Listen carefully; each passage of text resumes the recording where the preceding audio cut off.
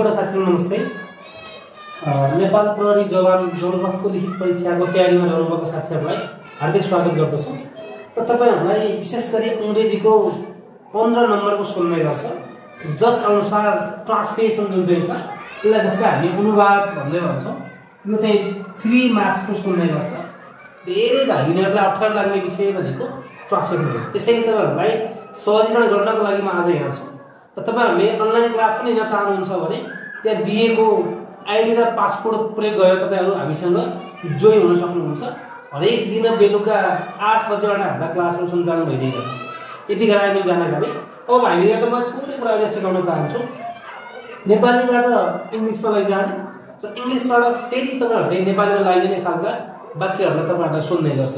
त्यसैले आजको यो छोटो भिडियोमा यो चारवटा वाक्यहरूलाई कसरी स्थानान्तरण गर्ने त कसरी रूपान्तरण गर्ने त भन्ने तपाईँहरूलाई म सिकाउन गइरहेको छु रामले भात खान्छ भन्ने यो वाक्य हो यसलाई हामी नेपालीमा सामान्य वर्तमान कालको वाक्य भन्छौँ भने अङ्ग्रेजीमा हामी यसलाई चाहिँ के भन्छौँ त भन्दा सिम्पल प्रेजेन्टको वाक्य भन्छौँ सिम्पल प्रेजेन्ट टेन्सको वाक्य भनिन्छ एकदमै सजिलोसँग तपाईँहरूले सिक्न सक्नुहुनेछ जस्तो कि रामले भन्ने बित्तिकै पहिले तपाईँहरूले नाम लेख्ने चाहिँ राम लेख्ने। भात भनेको हामी के भन्छौँ भन्दा राइस भन्छौँ। त खान्छ भन्ने तपाईँहरूले टास्क गरेर जानु पऱ्यो इट हुन्छ। र इटलाई एकजना व्यक्तिले खाँदै गर्दा यसलाई चाहिँ हामी यस थप्नुपर्छ जसलाई हामी ब फाइभ भन्ने गर्छौँ अथवा यसलाई सिङ्गुलरमा लैजाने भन्छ।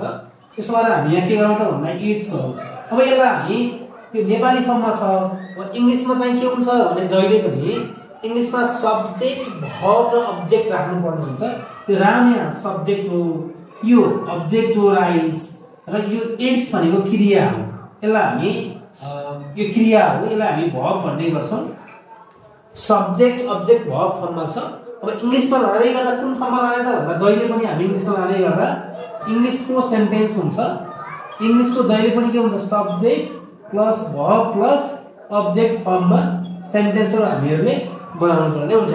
अब यहाँ हेरौँ त भाइहरू यहाँ के हुनु भयो त? वानमा के आउनु भयो सब्जेक्ट आउने भयो राम छ। इट्स भनेको भर्ब हो यो नम्बर टूमा यो इट्स आउने भयो र नम्बर थर्डमा के आउनु भयो त? भन्दा राइस आउने भयो यो हाम्रो चाहिँ के हो त? अब्जेक्ट हो। यसरी हामीले यो वाक्यलाई यसरी चेन्ज गर्न सक्छौँ। अर्को कुरा चाहिँ हेर्दा हरिले पुस्तक पढ्छ सेम के छ यो पनि? ल हेर्नुहोस् है यहाँ हरि लेखिहालौँ अनि पुस्तक भनेको के हो त? बुक हो। पढ्छ भनेको के हुनुपर्छ हामी? रिड्स गर्नुपर्छ।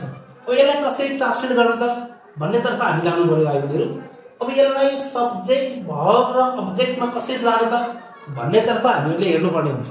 हरि बुक रिड्स है यसलाई कसो गर्ने त भन्दा भाइ बहिनीहरूले हरि भनेको नाम हो सब्जेक्ट भन्छ बुक भनेको अब्जेक्ट हो रिड्स भनेको पढ्छ भन्छ यसले भर्ब भन्छ। यसलाई पनि मिलाउ भाइ बहिनीहरू यसलाई वानमा हुन्छ रिड्स भनेको भर्ब हो टूमा हुन्छ र बुक भनेको यो थ्रीमा हो यो अब्जेक्ट हुन्छ अब मिलाइहालौँ। हरि फर्स्टमा लेखिहालौँ। हरि अब भर्ब के हो त हाम्रो? क्रिया रिड्स हो र बुक हो। त्यो बुक राख्दै गर्दा त्यो बुकको अगाडि हामीले आर्टिकल राख्नुपर्ने हुन्छ त्यसो भएर हामी चाहिँ के राख्छौँ त भन्दा अ बुक राख्छौँ। है एउटा किताब पनि भन्न पाइयो किताब मात्रै भन्नु पनि पाइयो। अर्को भएर हामी पुस्तक पढ्छौँ भन्ने वाक्य छ। हामी पुस्तक पढ्छौँ भन्ने वाक्यलाई के गर्ने त? भन्दै जाउँ त हामी भनेको उही हो पुस्तक भनेको के हो? बुक हो। पढ्छौँ भनेको के हो त? रिड हो। अघि हामी एउटा हुँदै गर्दा यस थपेका थियौँ भने हामी धेरै छौँ यहाँ। उही छ भने के हुन्छ भन्दा रिड हुन्छ। बरु हामी बुक्सलाई चाहिँ के गर्छौँ? बुकलाई चाहिँ के गर्छौँ भन्दा बुक्स गर्नुपर्छ। त्यसो भएर त्यसलाई बनाउँदा वान टू थ्री। त्यसो भएर के भयो भन्दा वी रिड बुक्स यसरी चाहिँ हामीलाई सेन्टेन्समा चेन्ज गर्ने है त?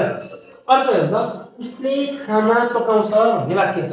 ल हेर्दा उसले भनेको हो त हि हो खाना भनेको के हो फुड हो पकाउँछ भनेको के हो त कुक्स हो अब मिलाइहालौँ भाइहरू यो वान भइहाल्यो भब टूमा राख्नुपर्छ थ्रीमा चाहिँ के पाइयो अब्जेक्ट चाहियो हामीलाई सिद्धि गयो अब के गरौँ त भनेर भयो ल है हि कुक्स भन्यो के पकाउँछ हि कुक्स अनि के भयो त यसरी हामीले चाहिँ सेन्टेन्सलाई ट्रान्सलेसन गर्न सक्छौँ हाम्रा क्लासहरू यसरी नै अगाडि बढिरहेका छन् भाइ बहिनीहरू यदि तपाईँहरू पनि हामीसँग जोइन हुन चाहनुहुन्छ भने यहाँ दिएको आइडी र पासवर्ड प्रयोग गरी तपाईँहरू हामीसँग जोइन हुन सक्नुहुनेछ okay thank you for all